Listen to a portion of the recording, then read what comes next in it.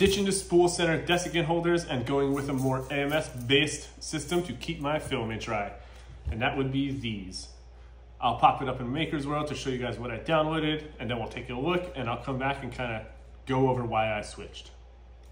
So this is the one that I downloaded. There's a ton of them on there. I just happen to have a hydrometer that would fit in this already, so that's what I went with. So as you can see, the little desiccant holders are in the slots between where the filament inserts. You have the option of putting a little hydrometer in. So that's pretty cool. So if you don't want to open the screen, you can just kind of take a gander at your AMS and see what it's at. Now, why do these work better than the spool center ones?